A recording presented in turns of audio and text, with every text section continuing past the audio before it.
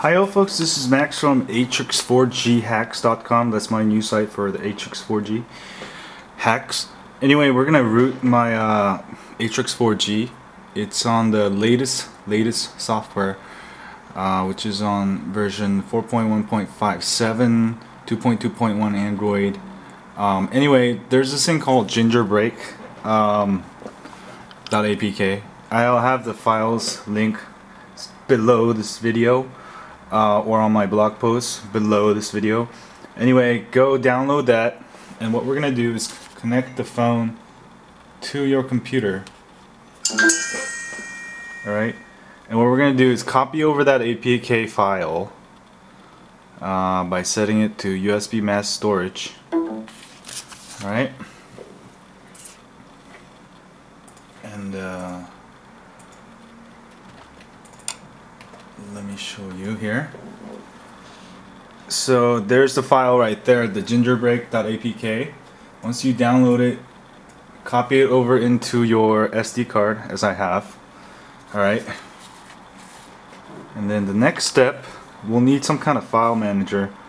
So let's uh, also turn off the USB. If you don't turn it off, it's not going to be able to use it from the phone. So let's see if there's a file manager. There we go, files. Go to your files. And then we'll go to the SD card. Huh? Internal phone storage. Okay, that's why I put it. And uh, we're gonna hit hit up Gingerbreak.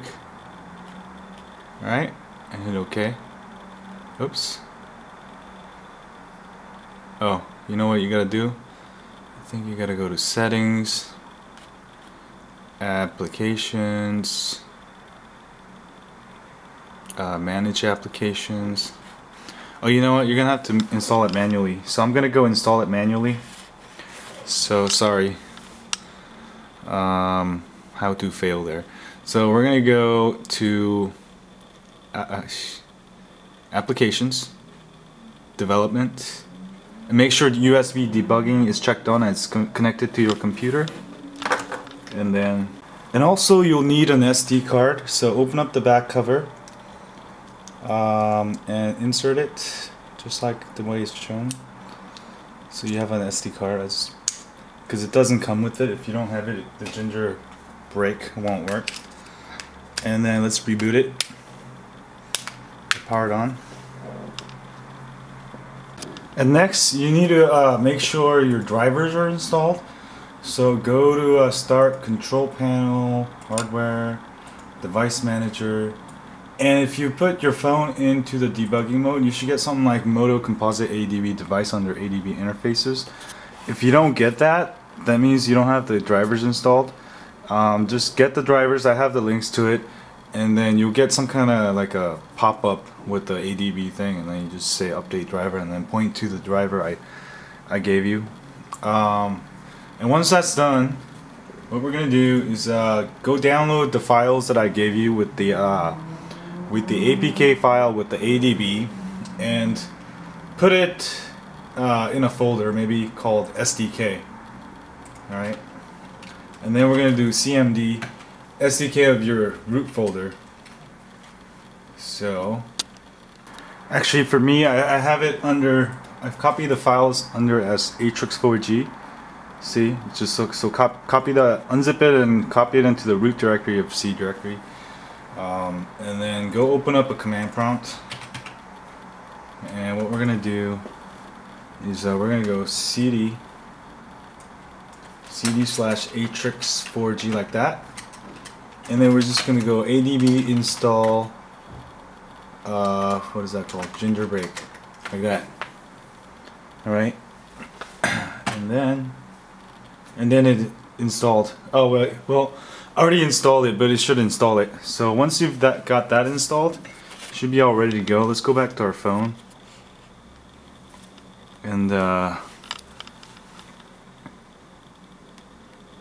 you can also, you know, that that one's for Windows, but you can also get ADB for Mac or uh, uh, Mac or Linux by going to the uh, the site uh, just type Android SDK. I'll have links to that too if you guys need it.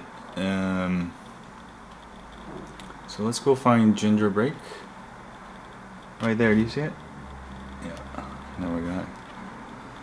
Install it, and then just hit root device and it should root it. So I'm gonna set my phone over here, and then that way I don't have to hold it while it's doing its thing.